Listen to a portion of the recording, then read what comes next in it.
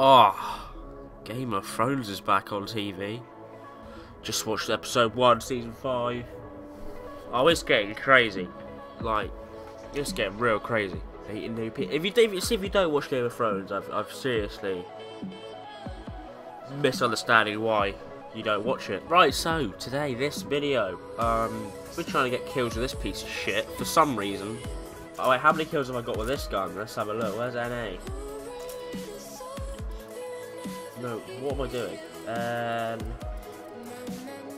it's gonna be. Is it? Is it actually zero?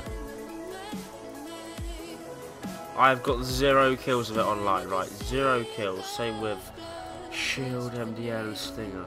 Oh yeah, for those who don't play COD, this is basically this gun. All right, basically you fire one shot. It's like a tracker explosive, and you fire the you fire the second shot on target to the explosive, and it detonates. But you can't go like, otherwise it just won't detonate. And the bullets do zero damage. Anyway, exosuits in Black Ops 3. Now I touched on this in the previous video about Black Ops 3, uh, that it got announced and stuff, but everyone seemed to jump to the conclusion that exosuits are going to be in it and stuff, and some people want exos, some people don't. Um, I'm going to get this out and then try and play and talk.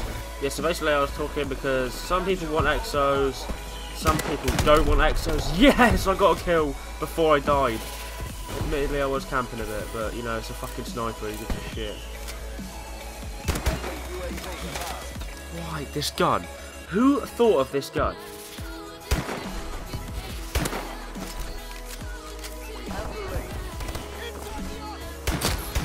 Oh! Oh, I just, oh, I just headshot someone. So yeah, basically no one wants it. To be honest, I don't really care if they're in it. It's just, I don't want to see it in every single card, that's the only thing. Like, because it's happened once, I just I don't want that to be the start of something that happens every single time. Oh! He wanted the knife as well. So yeah, as I was saying, will it have exos, Black Ops 3? Now, there's a lot of possibilities here. If you've got it, it does, and if you've got it, it doesn't. Um, do I think it will have exos? No, I don't think it will.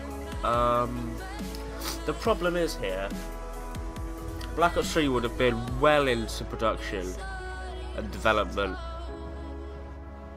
way before the release of um, Advanced Warfare, so the people at Treyarch wouldn't have been able to like predict the negative response that the Exos have gotten.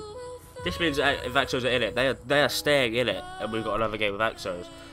But I'm pretty sure that it doesn't have Exos. I mean, like until now, there was always like a fine like distinguishable line between the COD games. I mean, you had like Treyarch always had the zombies until now for some reason that Advanced Warfare has it. But that's how like Infinity Ward games back in the day, you knew they didn't have zombies, and then Treyarch games, you knew that they had zombies, and then I was thinking that Advanced Warfares were going to be the only thing with exosuits. That's like how you distinguish the different like genres of COD, I guess.